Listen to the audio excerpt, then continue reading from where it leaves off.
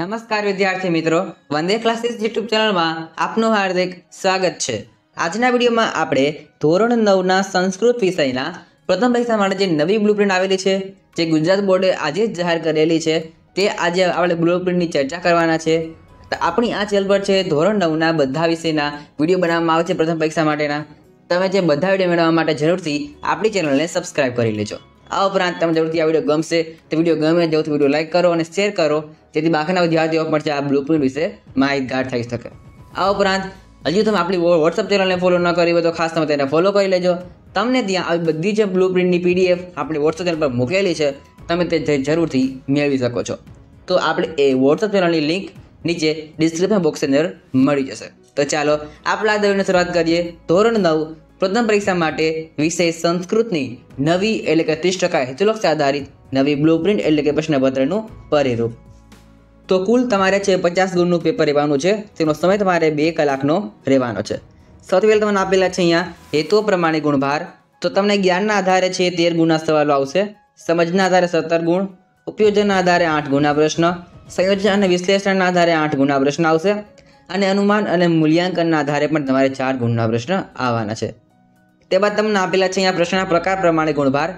તમે જો ખ્યાલ હોય વિદ્યાર્થી મિત્રો, તો આ વર્ષે એટલે કે શૈક્ષણિક વર્ષ બે હજાર ચોવીસ પચીસ માટે ગુજરાત બોર્ડે જે નવી બ્લુ જાહેર કરેલી છે, તેમાં તમને જે જનરલ વિકલ્પ આપવામાં આવેલા હશે.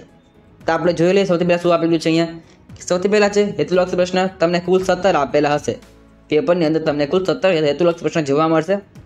અને એમાં તમારે કોઈ પણ પંદરના જવાબ છે લખવાના હોય છે, એટલે કે તમારે જનરલ વિકલ્પ વિના પંદર પ્રશ્ન હશે અને જનરલ વિકલ્પ સાથે સત્તર પ્રશ્ન હશે. તેના ગુણ તમારે અહીંયા પંદર રહેશે. ત્યારબાદ ટૂંક જવાબી પ્રશ્ન તમને નવ આપેલા હશે. જર્ણ વિકલ્પ સાથે. અને જર્ણ વિકલ્પ વિના તમને તે છ આપેલા હશે. આમ તે તમને કુલ છ માર્ક્સના છે. ત્યારબાદ ટૂંકા પ્રશ્ન બે એ તમને પાંચ આવશે જર્ણ વિકલ્પ વિના. અને જનરલ વિકલ્પ સાથે તમને તે દસ જોવા મળશે. તેના ગુણ તમારે દસ છે. ત્યાર પછી વિસ્તૃત જવાબી પ્રશ્ન એ તમને પાંચ જોવા મળશે જનરલ વિકલ્પ વિના. અને વિકલ્પ સાથે તમને સાત આવશે. તેના ગુણ તમારે પંદર છે. અહીં તમારે એક સવાલ છે એ ત્રણ માર્ક્સમાં આવી શકે છે. ત્યારબાદ વિસ્તૃત જવાબી પ્રશ્ન બે. એ તમને એક આવશે જનરલ વિકલ્પ વિના અને વિકલ્પ સાથે એ તમને બે જોવા મળશે પેપરની અંદર. એ તમારે કુલ ચાર ગુણનો એક સવાલ આવશે ચાર ગુણની અંદર. ત્યારબાદ તમને અહીં આપેલું છે કે પ્રકરણ પ્રમાણે ગુણભાર એટલે કે ચેપ્ટર વાઇઝ તમને અહીંયા વેઇટેજ આપેલા છે, ગુણભાર આપેલા છે. તમે જરૂર તેનો સ્ક્રીનશોટ લઈ લેજો, તમારા માટે ખૂબ જ અગત્યના છે. સૌથી વાત કરીએ ચેપ્ટર નંબર એક, તમારે કુલ ચાર ગુણનું છે. ચેપ્ટર નંબર બે, કુલસ્ય આચાર, પાંચ ગુણનું ચેપ્ટર ચેપ્ટર નંબર ત્રણ, પરામ નિધાનમ, છ ગુણ. ચેપ્ટર નંબર ચાર ચાર ગુણ. ચેપ્ટર નંબર પાંચ, એ પણ પાંચ ગુણનું છે. ચેપ્ટર નંબર છ, એ તમારે ચાર ગુણનું છે. ત્યારબાદ બાકી ચેપ્ટર નંબર સાતની, એ તમારે કુલ ચાર ગુણનું ચેપ્ટર છે. ચેપ્ટર નંબર આઠ, છ ગુણનું છે. ચેપ્ટર નંબર નવ, ચાર ગુણ. ચેપ્ટર નંબર અગિયાર, એ તમારે ચાર ગુણનું ચેપ્ટર છે. આ ઉપરાંત જે તમને અપઠિત ગદ્ય પૂછાય છે, એ પણ તમને ચાર માર્ક્સની અંદર પૂછાવાના છે. તો આ છે તમારા સંપૂર્ણ ચેપ્ટર વાઇઝ છે વેઇટેજ રહેવાનું છે.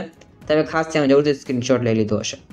તો આગળ આગળ આપણે વાત કરીએ, તમને આપેલું છે કે ધોરણ નવ સંસ્કૃતનું ફર્સ્ટ એક્ઝામ માટેની પેપર સ્ટાઇલ તમને અહીં આપેલી છે. એટલે કે પ્રશ્નપત્રનું માળખું તમને આપેલું છે. વાત કરીએ આપણે સૌથી પહેલા વિભાગ એ, જેમાં ગદ્ય વિભાગ છે. એ તમારા કુલ દસ ગુણનો વિભાગ છે. એ, એમાં તમારા પ્રશ્ન નંબર એક અને બેમાં આવશે. માતૃભાષામાં અનુવાદ કરો અથવા તો અનુવાદ દોષ દોર કરો. એ તમને કોઈ પણ એક લખવાનું હશે, તમને કુલ બે આપેલા હશે. તમારે છે કોઈ પણ એકમાં લખવાનું હશે પ્રશ્ન એકથી બે. તમને ત્યાં ત્રણ માર્ક્સ છે. ત્યારબાદ પ્રશ્ન નંબર ત્રણ, ચાર અને પાંચ તેમાં તમને આવશે એમસીક્યુ પ્રકારના પ્રશ્ન.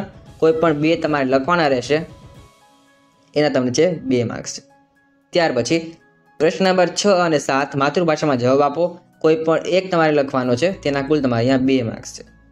ત્યારબાદ પ્રશ્ન નંબર આઠ તમને આવશે ગદ્યાર્થ ગ્રહણ એ તમને ત્રણ માર્ક્સની અંદર પૂછાવાનું છે. ત્યારબાદ વિભાગ બીની વાત કરીએ. તમારે એ પણ દસ માર્ક્સનો છે. સૌથી પહેલાં છે, પ્રશ્ન નંબર નવથી દસ સુધી. એ તમે આવશે અનુવાદ દુષ અનુવાદ દુષ દોર કરો. તમે ત્રણ માર્ક્સમાં આવશે. પ્રશ્ન નંબર અગિયારથી લઈને ચૌદ સુધીમાં એમસીક્યુ તમને આવવાના છે. ત્રણ માર્ક્સની અંદર આવશે. ત્યાર પછી, પ્રશ્ન નંબર ચૌ, પંદર અને સોળ, એમાં તમને આવશે માતૃભાષામાં ઉત્તર આપો. કોઈ પણ એક તમારે લખવાનો છે, તેના બે માર્ક્સ છે.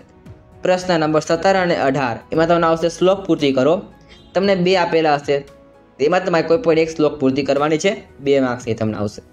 ત્યાર પાછળ, વિભાગ સી ની વાત કરીએ, નાટ્ય વિભાગ તમારે દસ માર્ક્સનો છે સૌથી તમે આવશે પ્રશ્ન નંબર ઓગણીસ અને વીસ. તેમાં તમને આવશે માતૃભાષામાં અનુવાદ કરો અથવા અનુવાદ દોષ દૂર કરો.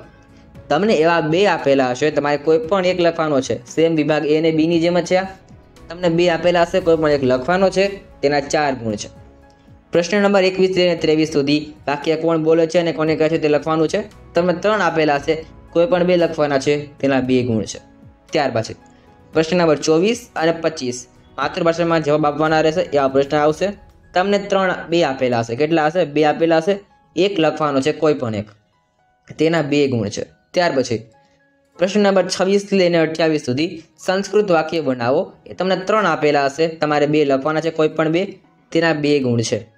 ત્યાર પછી વિભાગ ડી વ્યાકરણ વિભાગ, એ તમારે કુલ દસ ગુણનો વિભાગ છે. તે ત્યાં તો પ્રશ્નો ક્રમ રહેશે. ઓગણત્રીસથી લઈને આડત્રીસ સુધીના પ્રશ્ન તમારે વ્યાકરણ થાય થશે ત્યાં તમને શું આવશે? તો કે સમાનાર્થી શબ્દ, વિરોધી શબ્દ, વર્તમાન કાળરૂપ, સામાન્ય ભવિષ્યકાળ રૂપ પુલ્લિંગ શબ્દ, સ્ત્રીલિંગ શબ્દ, નપુસકલિંગ કુદંતનો પ્રકાર જણાવો, સંધિ છોડો અને જોડો. આમ તો અહીં દસ પ્રકારના જે પ્રશ્ન છે એ તમારે વ્યાકરણમાં આવવાના છે. વિભાગ એની વાત કરીએ, સંયુક્ત વિભાગ એટલે કે લેખન વિભાગ, જે તમારે કહેતા હોવ એ તમારે કુલ દસ ગુણનો વિભાગ છે. એમાં તમે આવશે પ્રશ્ન નંબર ઓગણચાલીસ તરીકે ગદ્યાર્થ ગ્રહણ જે તમને ટેક્સ્ટ બુકની બહાર ન પૂછાશે.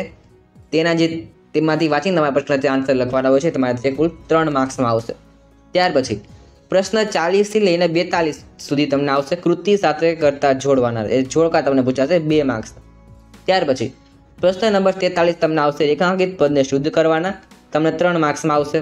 ત્યાર પછી પ્રશ્ન નંબર ચુમ્માલીસ અને પિસ્તાલીસ. અર્થ વિસ્તાર આવશે બે માર્ક્સની અંદર. તો આમ તમારી સંપૂર્ણ સંસ્કૃત વિષયની પેપર સ્ટાઇલ તમારે રહેવાની છે. તમને ખાસ આજનો વીડિયો ગમ્યો હશે વીડિયો ગમી, ગમ્યો હોય તો વીડિયો લાઇક કરો શેર કરો અને ચેનલ જરૂરથી સબસ્ક્રાઇબ કરી રાખજો.